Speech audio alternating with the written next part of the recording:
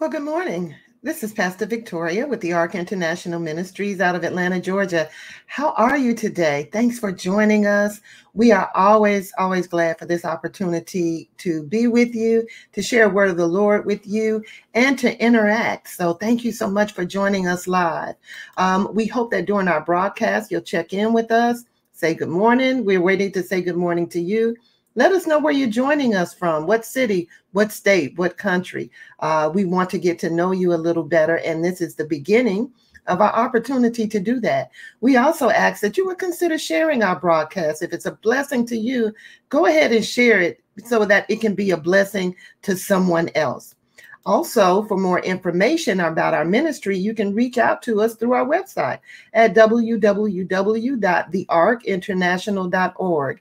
If we can pray for you, if we can answer any questions for you, if you'd like some more information about the ministry, even if you'd like to give to the ministry, you can do everything online through our website. And also, if you subscribe to our newsletter there, there is a free giveaway that we have that'll be a blessing to you. It's all about accountability. So thank you again for joining us today. If you're watching us via replay, you might be looking at us later in the week, may not necessarily be Sunday morning. That's cool. We're just glad to be able to sow this word into your life. And again, we hope that you will subscribe to our YouTube channel. We have kind of moved off of Facebook Live. We generally share out through that channel, but our live streaming is primarily on YouTube. So go ahead and subscribe so that you can be aware when we launch any content out on YouTube um, around the Word of God. We also do a lot of leadership development training. We also do some things around technology. I've been doing some workshops lately, helping individuals, ministries, businesses that want to do live streaming, like you're seeing now, and teaching a little bit about Zoom uh, and some what I call some social media uh, online meeting etiquette. So you got to subscribe to our YouTube channel so that you can see what's out there, be a part of all that we're doing at the ARC. And listen, we're preparing right now to launch a brand new website. So all I can say is that it's coming and it's going to be more opportunities to actually take part in uh, things at the ARC and especially for your growth and your learning. You know, our mission and our vision here is to equip leaders and to lead dreamers. And so we do a lot of teaching and workshop and instruction and facilitation here. We believe in continual growth and learning in the Word of God and in those areas that God has called us to. So we hope that you will become uh, a part of some of the workshops and classes that we're doing and that you will share them with others. Before we get started this morning, just a couple of um, quick announcements I want to make. One is we also have another learning opportunity that's opened up, and let me just share uh, a little bit more, a little bit more about this. This is called the Relevant Word, and this is our midweek Bible study. We do this by way of Zoom, and it is on Thursdays from 8 to 8:45 p.m. Eastern Standard Time. So if you'll come to our website at thearcinternational.org all of the information that you need to either join by way of computer or dial in by way of telephone all the information is there on our website. We are very careful and safe about your security in terms of joining. So we've got a special time set up for you, um, and we try to make it easy for you to join and be a part. These Thursdays are a little bit laid back, and so um, not formal at all. We're just sharing the word together. There's lots of discussion from the participants in our Bible study, and we sure would love to have you there. So again, this is Thursdays from 8 to 8:45 p.m. A relevant word. This is our midweek Bible study. And if you visit our website at thearcinternational.org, you can find out all of the information that you need to actually join us and be a part. Lastly, I've got to talk about Leader Camp. This is our yearly leadership development certificate course and conference. This year, it's going to be what? You know, it's going to be virtual. So join us October 16th through the 18th, 2020 for Leader Camp. This is a three day virtual leadership conference Friday will be the pre conference certificate courses. So, if your goal is to earn our leadership certificate, you want to be sure that you are registered for the Friday classes.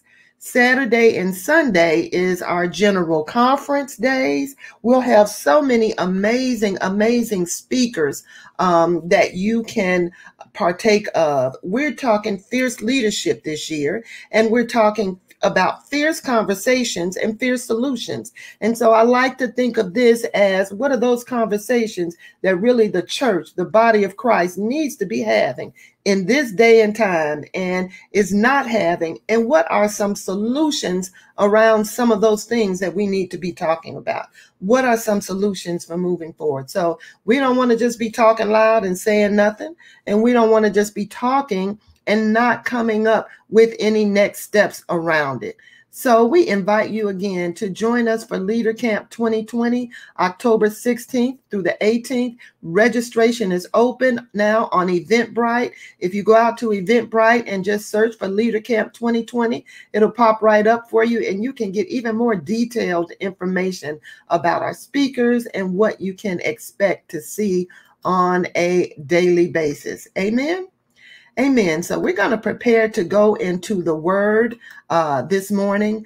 And the word this morning uh, is called Who's Fooling Who? And it's all about the Holy Spirit, the Spirit of truth. And if there was ever a time that we need to know what's true, that we need to be more um, discerning about what people are saying, that we need to have clear direction as we try to make decisions.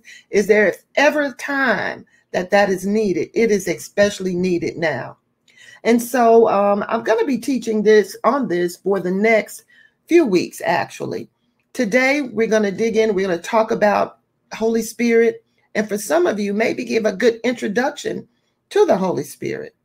We're also in this series going to talk about wisdom and we're going to talk about character and integrity because these are three things our relationship with the Holy Spirit, godly wisdom, and really understanding, practicing, and looking for character and integrity.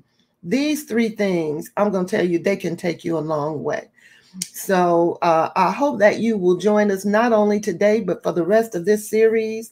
Again, make sure that you subscribe to our YouTube page so that you don't miss any one of the broadcasts around this. Let me go ahead and pray and we'll get started for today. So, Father, we thank you and bless you and praise you. You are an awesome God. We thank you for your word this morning.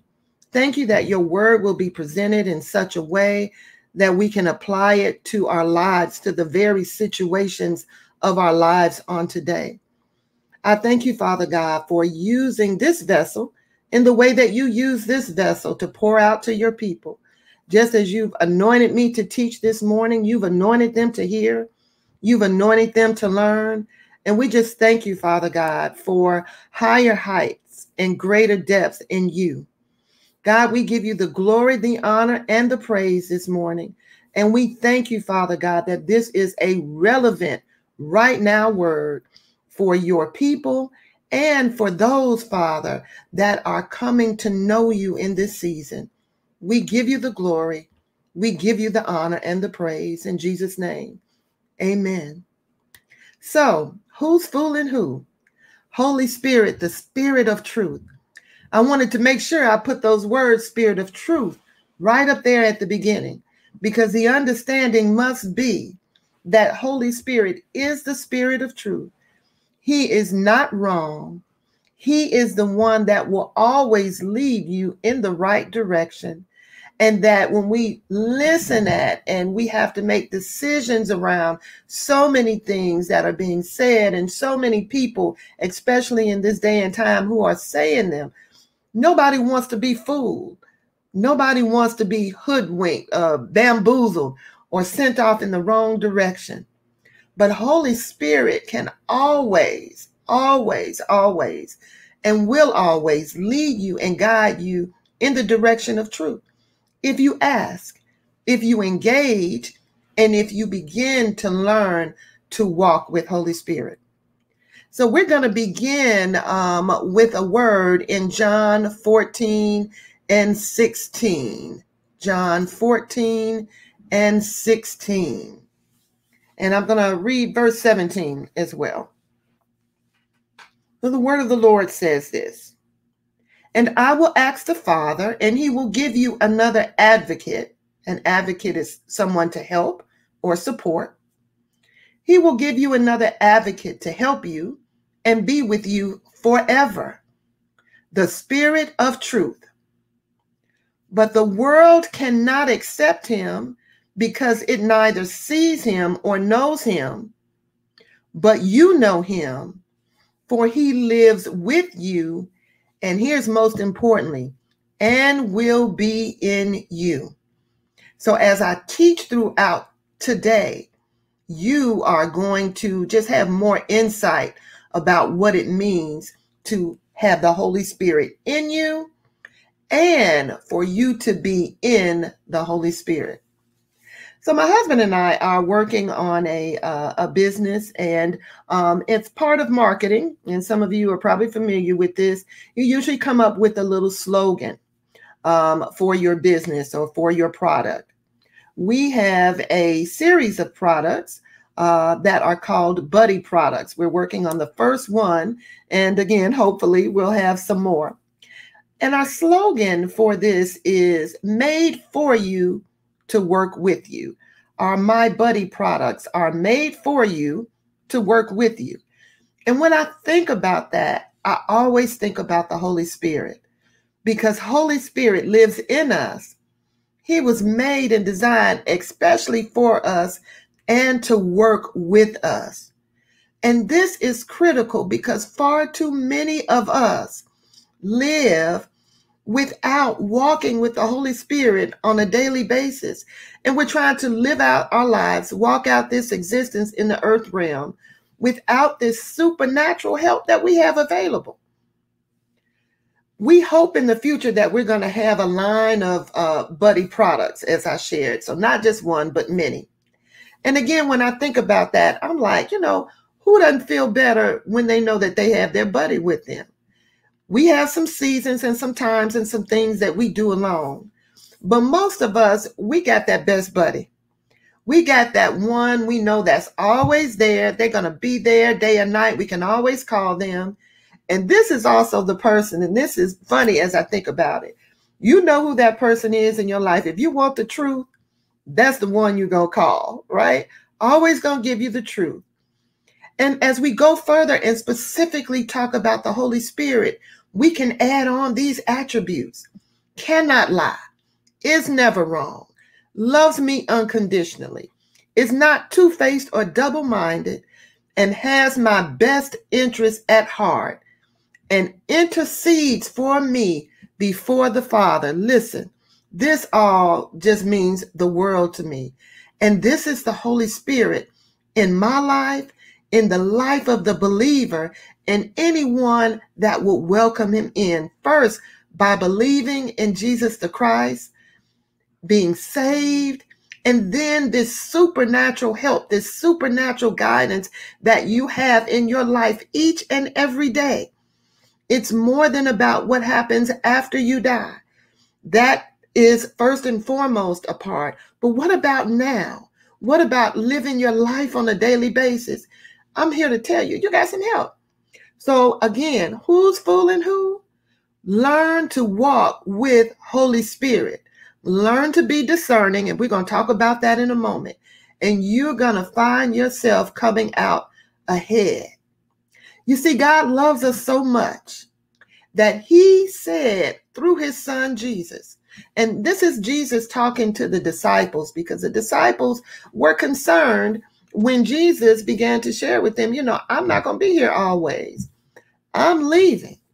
But God granted Jesus um, this word, this information specifically for the followers of Jesus. It's like, don't worry, I'm going to send you another one, this spirit of truth. And this time, the one he sent wouldn't simply dwell with them, but he was going to dwell on the inside of them. So Jesus walked daily with his disciple. He dwelled with them. But the other that was sent when Jesus left, oh my gosh, not only dwelled with them, but he dwelled on the inside of them. And he dwells on the inside of us today. And guess what? There is even another level. It is not only him dwelling in us, but when we learn how to dwell in him. This is all about the Holy Spirit, y'all. Holy Spirit is that voice of godly reason, it's the voice of warning, the voice of comfort. It's that voice we sometimes we try to ignore, but we know we can't. Even if we're not obedient to it, we do hear it. We can't deny it. But we got to understand too that not being obedient to it, well, that's an issue it's one thing not to understand or hear or know a word or know the next direction, but it's another thing to have that information before you, but you don't follow that guidance. If you're struggling seeing that, let's think about parenting and children. That's like it's like that sometimes with our children. We're giving them the direction and the guidance. So they can't say they don't know, they don't understand. But sometimes they do what? They just choose not to follow. But we are to be maturing, we are to be growing. And as you mature and as you grow, you come to recognize, recognize the wise voices in your life.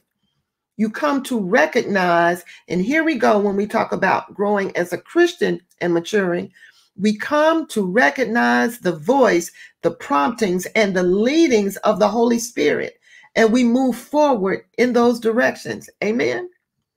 So, um, my mentor and our apostle here at the ARC, Dr. Kluani, wrote a blog article called Created to Be Like God. And I wanted to share a piece of it with you today because it's really relevant to our conversation. In it, she says this She says, Jesus gave us the Holy Spirit to be our guide it's not about simply knowing about the Holy Spirit doctrinally. It's not just about experiencing his reality on a hit and run basis every now and then. And it's not about perceiving the Spirit impersonally as an expression of God's power. So the gist is here we need to learn to make this thing personal because it is about experiencing the life-giving Holy Spirit continuously, continuously on a day-to-day basis, moment by moment, as your personal guide and counselor. Recognize the Holy Spirit as being personally present in your life. Um, a few years ago, my husband and I were official photographers for the Trumpet Awards here in Atlanta. And when the Trumpet Awards week was in motion, they had thousands of people coming into the city, coming downtown to the Hyatt Regency to be a part of this event. Many of them had never been there before. The uh, founder of the Trumpet Awards Foundation, Xernona Clayton, always shared one of the most important things volunteers did during that time was provide direction because people were coming in that had never been there before. They had never been to that hotel, that conference space, and they needed to know which way to go. And so there were a lot of volunteer roles that you could hold within this organization. And oftentimes, if your role was one to stand and hold a direction sign, people just felt like that wasn't very important. And she had such a way of helping them to understand how important it was for people to feel like they knew which way they needed to go. Oh my goodness. Holy Spirit is that for us in our life each and every day. The one there showing us which way to go, which path to take. As we are hearing in this day and time so many voices politically, um, from the um, medical arenas, and otherwise, from the educational standpoints, we have so many decisions to make, and we need to know which way to go. What is the specific direction for us? What is the specific direction for our family? What's the answer there? Y'all is walking with the Holy Spirit. So let me um, go on here and begin by uh, answering actually this question. And that is who is the Holy Spirit?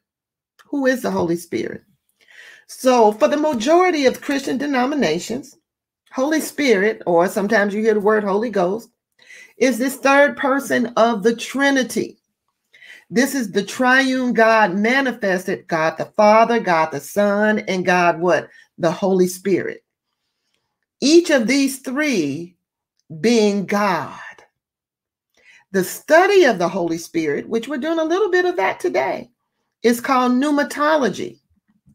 And the English term pneumatology comes from two Greek words. The first Greek word is pneuma, and it's spelled P N E U M A, and it means spirit. And the second is the word logos, L O G O S, which means teaching about.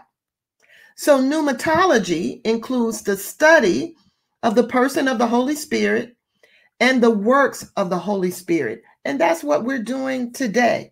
I'm teaching about and you're learning about Holy Spirit. The Holy Spirit, first and foremost, is a person. So, being a person, the Holy Spirit has feelings. He can become sad or angry, and others can insult him and blaspheme against him.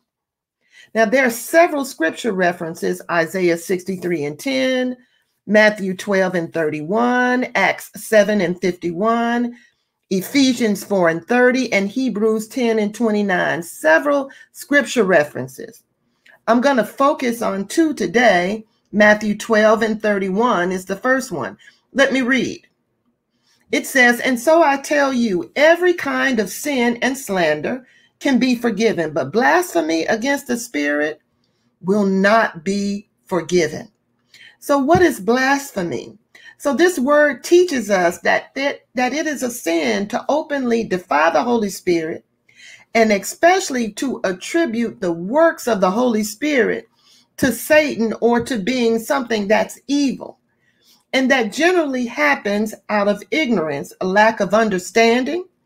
And also, it can happen because of pride, because we just decide we're not going to open our mind, open our hearts to believe in something greater than ourselves.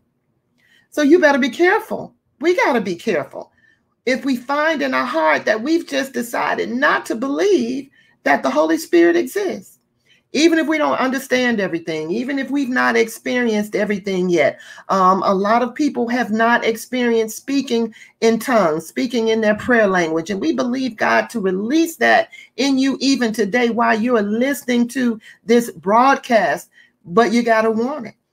You know, it has to be something that you open yourself up to and a choice to believe it again, even if you have not experienced it yet. It's that decision to believe that Holy Spirit is real. And that's really that first step to opening yourself up. We are spiritual beings. We are. We are spiritual beings in a fleshly body. And not understanding what that means equates to denying and closing off a very vital part of who we are as we live in life today in this earth realm. So, second scripture I do want to uh, share with you today is Acts 7 and 51. It says this You stiff necked people, your hearts and ears are still uncircumcised. You are just like your ancestors. You always resist the Holy Spirit. So here we go again. As believers, as believers, we too can resist the work of the Holy Spirit in our lives through pride that's being stiff necked. You're stubborn. But also, we can quench and even grieve the indwelling of the Spirit of God. My prayer today is that our ears and our hearts would be spiritually circumcised. That means they would be open or cut open, right? Day by day. And that we can pay heed to these gentle and tender promptings of the Spirit. For God resists the proud. That's his word. He resists the proud. That's in First Peter 5. But he gives grace upon grace to the humble. So the ask here today is that you just begin to consider. I like to say this, and this again is one thing our apostle always says to me you won't necessarily agree with everything that I say or believe. And we can still walk together without agreeing on every single point. But we ought to be able to have some good discussion. And when something is presented to us that's a bit different, we ought to be able to pray about it. We ought to be able to consider it and open ourselves up to the possibility that there is more and there is more in God and more that God has for us that we just simply have not experienced yet. So the Holy Spirit has intentions, He shows willfulness and discretion. He loves, He communicates, He testifies, He teaches.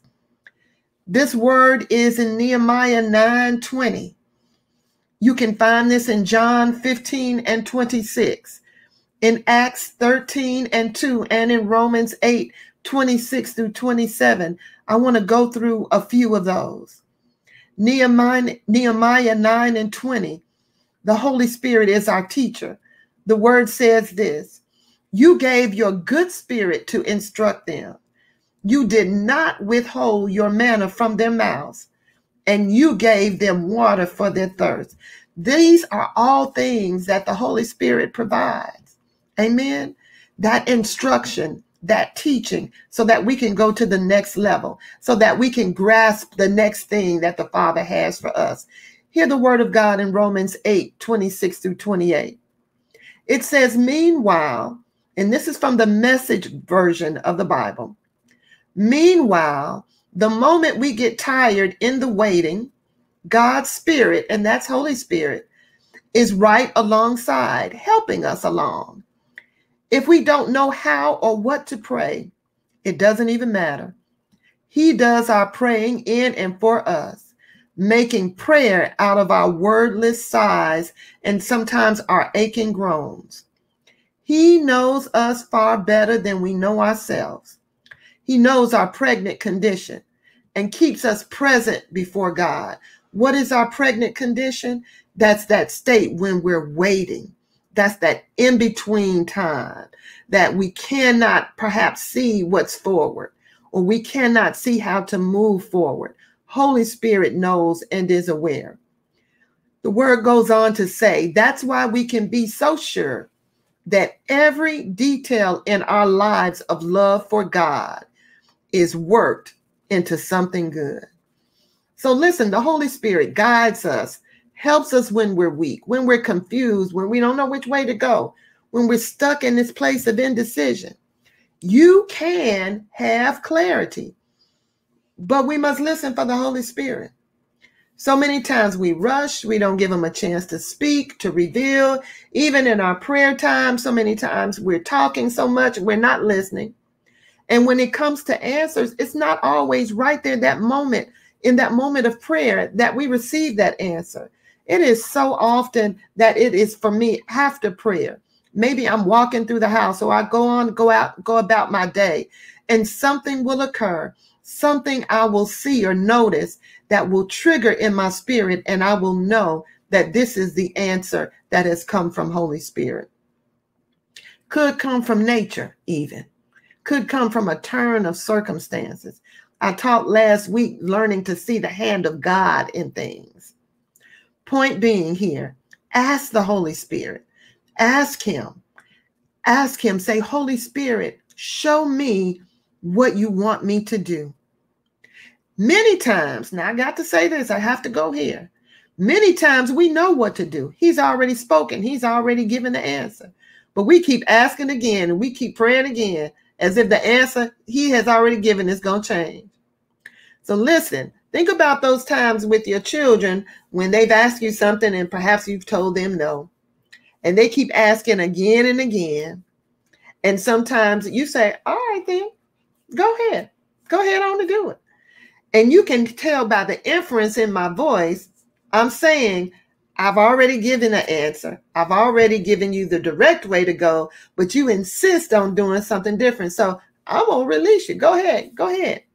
And so we know then when we get off track, when we make decisions that are not the best decisions, there are consequences behind them. So listen, nobody's perfect. Nobody's perfect. But with Holy Spirit, learning to hear Him, follow His guide, follow His direction, we can be more discerning. We can be more at peace with our decision. And I believe in my heart that when we have really sought Him, sought to hear Him and to listen to Him, even if we start off in the wrong direction, He just has this way of doing a course correction uh, with us midstream or correcting something that may even come from our mouth midstream. He'll put a, what we like to say sometimes is a check in my spirit. I'll feel something uh, in, in that stomach area that says, wait, I'm heading down the wrong direction. Amen. Now, next is how do we receive Holy Spirit? So I'm going to follow this with a demonstration as well. So at salvation, when we confess that Jesus Christ is our Lord and Savior, when we humble ourselves by saying, I can't do this alone, I, I don't have the information, I don't have the power, I don't have the wherewithal, I need Father, you're you in my life. There is someone greater than me. I'm connected to my creator. He holds my future in his hands. When we believe upon Jesus Christ and the finished work of the cross, that his death, his burial, and his resurrection restored us back into this perfect relationship with God, regardless of what happened with Adam and Eve. God didn't change his mind. When we accept Christ there, we are filled with the Holy Spirit, and that is Him in us. Now, I want to begin this demonstration just with this glass of water. Consider this is us as the glass, and Holy Spirit, the water. So at salvation, we are filled with the Spirit. So this is the water on the inside of us. Now, the next process is us in Him or the baptism of the Holy Spirit. This is that place of overflow. This is that point at which we are being led by Holy Spirit. And this is important because a lot of times people make Jesus their savior here, but they never make him their Lord, or in other words, they don't begin walking in obedience to him, or they or they don't become immersed. So here is the example to help you with immersion. So this is Holy Spirit in us. Water in the Word of God is often known or referred to as Holy Spirit. When we go to the next step to talk about immersion, now it's not only Him and us, but it's us and Him. So immersion is when now we are in him, we are filled to overflow. Amen. We are filled to overflow. This is immersion. Let me make sure I hold it closer, or maybe a little bit back so you can see. This is being filled to overflow. This is us in Him. When we are in Him, when we have made Him our Lord, then he can lead the way. We move from just the infilling or indwelling to that place of overflow as we spend time with the Holy Spirit in prayer, as we learn to talk with Him and walk with Him throughout our day. I like to say, as we learn to practice the presence of God. We have to do more listening than talking. Now, people in overflow, or as we are baptized in the Holy Spirit, we have come under immersion, right? And immersion is generally underwater. And again, this is also known as baptism. There are different signs in their lives. One of the signs, but only one, and I want to be clear about that, but it happens to be fairly notable, is this evidence of speak by way of speaking in tongues or speaking in the prayer language.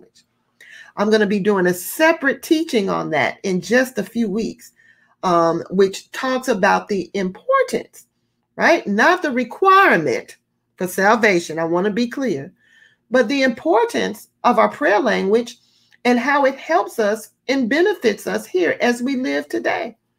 Now, I want to say this again because I always want to be clear. I don't want to leave any confusion. I'm asked this question all the time Am I required to speak in my prayer language to go to heaven? Absolutely not. Am I required to speak in my prayer language uh, to be saved? Absolutely not. But the gift of speaking in tongues in the prayer language is a benefit that is there for every believer, for every single believer. So, first step there, what? Open yourself up to it. And as we teach more about that uh, in another part of this series, um, your hunger and your desire for it um, will be triggered and built. And if on today, I got to say this because I'm right here, you are already hunger for it, be it unto you. Let your prayer language or your speaking in tongues, let that gift be manifested in your life today, immediately, right in this moment. So, listen, I understand for many different reasons. And often it's because of lack of understanding. It is human nature to reject what we don't understand. And when we don't understand Holy Spirit, if we don't understand speaking in tongues, if we can't find places to relate to these things in our lives, if there has been nothing there to build up our hunger or desire for more of God. And that's what we're talking about here. We're not just talking about more gifts, more demonstrations, but we're talking about more of God because with more of God, the other things actually follow. Hopefully, our teaching on today is beginning to clear up just some of these questions in your life. Amen. So let me keep going. What is the role of the Holy Spirit in the life of the believer? Well, his primary role is to lead us and to empower us to make the best choices and to walk in our purpose. It's to live that God kind of life that we were all created for. Now, sometimes that leading, it involves conviction. This process of conviction involves God's nudging or whispering something to us that we need to address or kind of fix in our life. He nudges us when we're about to move in the wrong direction. And then his desire and his direction for us is to kind of turn us around, to lead us in the right direction. We can hear and sense him saying, Go here, don't go there. Now say this, but don't say that. Ask them, don't approach them. How many times each day are we facing these types of choices? And what would it mean to you to know that you have someone walking with you to give you the spiritual insight that you need to make the right choices? I'm going to tell you again, it means the world to me. Now, I wanted to define uh, con- convict or conviction for you. The word convict or to reprove in the Greek is elegacho. It's spelled E L E G C H O and it means to bring to light or to expose a fault. It shows the matter for what it really is, what it truthfully is. And conviction comes simply to persuade you to change or to do something else or to do something different. So the Holy Spirit brings to light actions and mindsets and, and our thinking that is wrong. And He also is there to persuade us of what the truth really is. So I go back to where I started at the beginning of this broadcast. Who's fooling who? The ability to be able to more greatly discern truth is, expo- is extraordinary. And discernment, to talk about what discernment is, discernment is perception in the absence of judgment of an individual with a view to obtaining spiritual guidance and understanding. So the Holy Spirit is here to help us to be more discerning of what we're hearing, of what we're seeing, of what we're sensing on a daily basis so that we aren't hoodwinked, so that we aren't bamboozled, so that we aren't led astray. And listen, in a time when there's so much division, in a time when there's so much disagreement amongst leadership. We need, we need the divine intervention of the Holy Spirit in our life on a day to day basis. Conviction because it comes from God, it's meant for your good. It's meant to keep you on track. It's not meant to do you any harm, to control you, or to bring you to shame. So we need this in our lives. We all need this in our lives. And this again is that guidance from the Spirit of the Lord. On our own, we're going to constantly make mistakes, bad choices, wrong decisions, because none of us are perfect. But I'm telling you that we have a level of help, supernatural help, that many of us just have not fully tapped into. But that can change even today, even this moment, as you're listening at this broadcast. So, this leading and guiding of the Holy Spirit is also to empower us. The Holy Spirit has been empowering his followers from the very beginning. He empowers us to be who he created us to be and to do what we've been created to do. And the fact is, you cannot fully fulfill your God intended destiny without the Holy Spirit. You would never get there. You would stay off track. You would continue making mistakes. You would stay in ruts. You would stay stuck. Amen.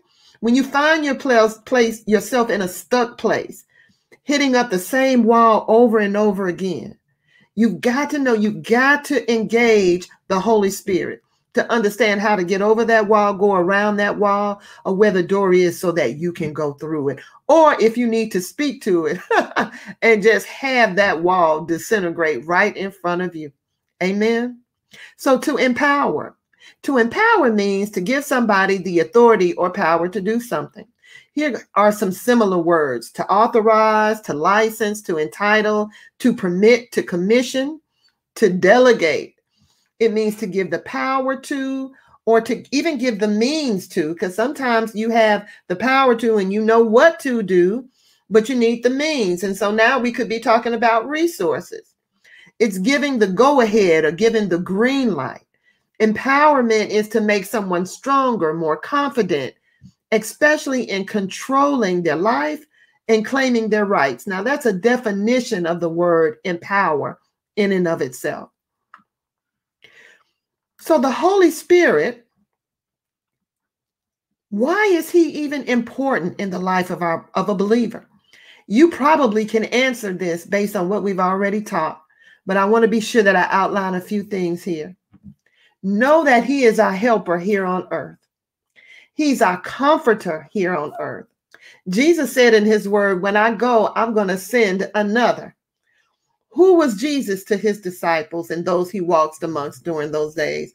He meant a lot to them. He was a comforter, he was leader, he was guide. He was a healer to a lieutenant's daughter that was deathly ill. He was a lawyer to a woman in the word of God that had been accused by many of adultery. He was a savior to Peter when Peter was about to sink while he was trying to walk on water. Bottom line, Holy Spirit works daily, moment by moment in the life of the believer, of the believer if you allow him to. Now, Jesus put a lot of emphasis on the Holy Spirit. He was the subject of intense prayer.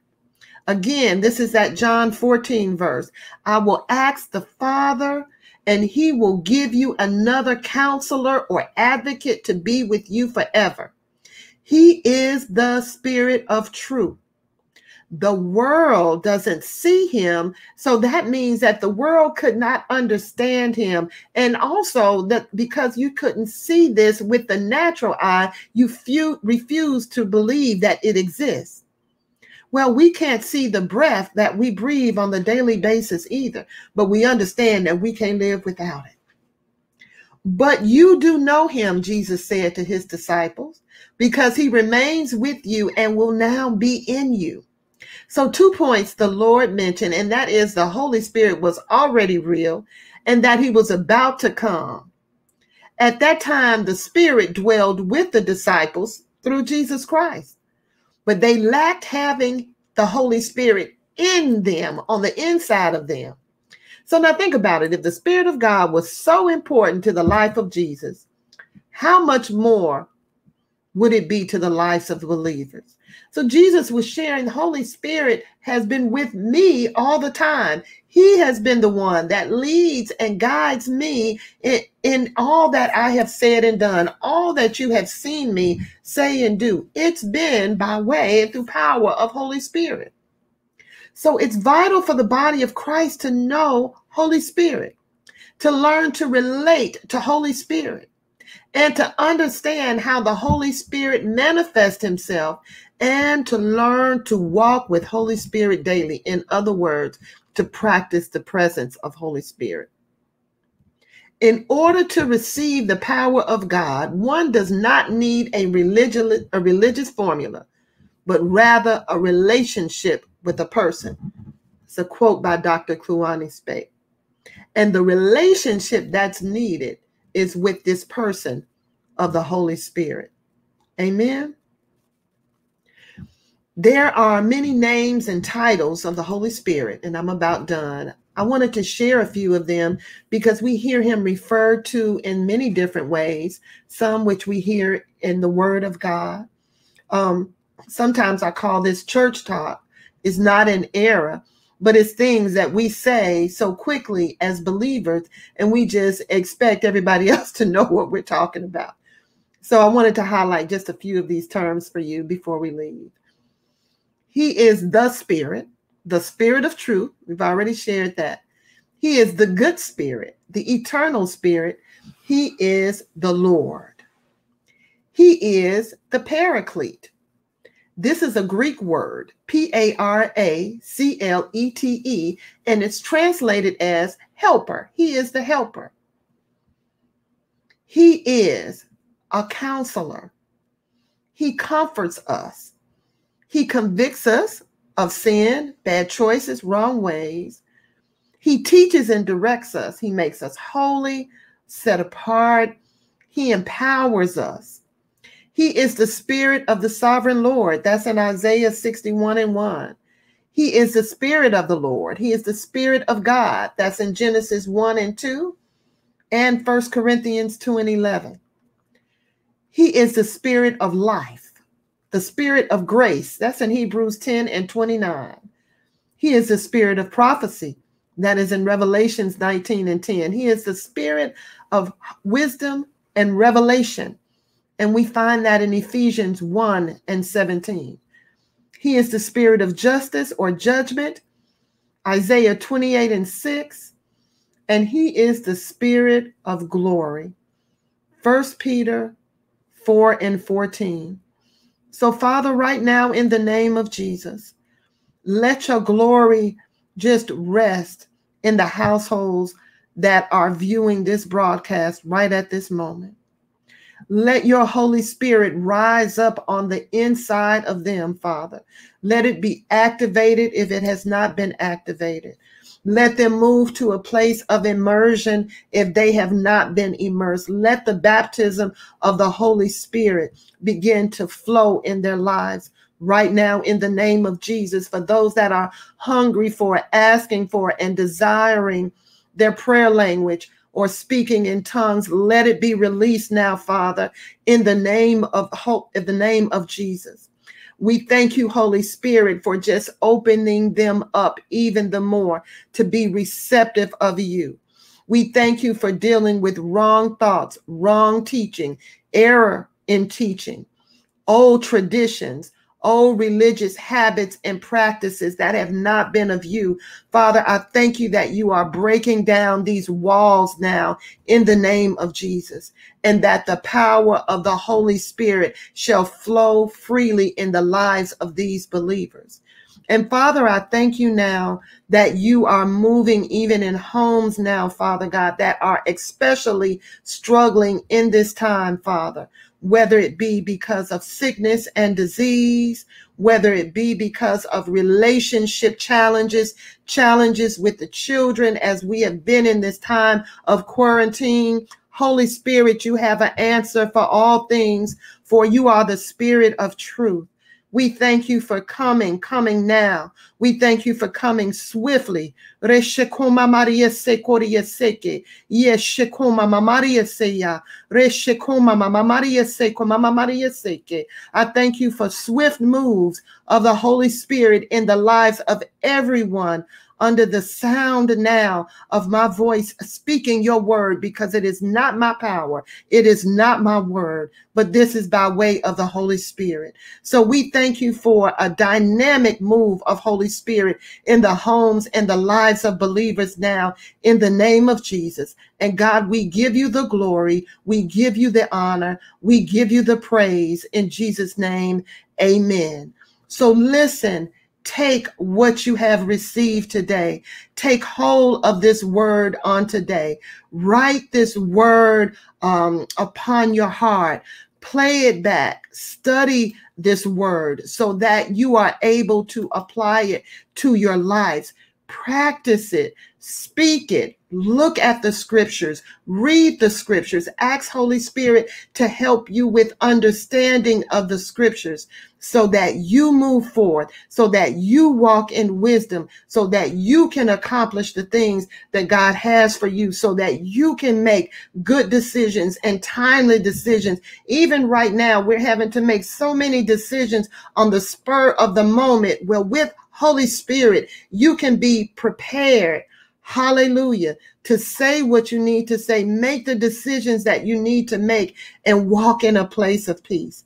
That is our prayer for you on today. I am Pastor Victoria with the ARC International Ministries in Atlanta, Georgia. In Atlanta, Georgia. God bless you, and we pray that you have a blessed week. We'll see you later on in this week. Blessings.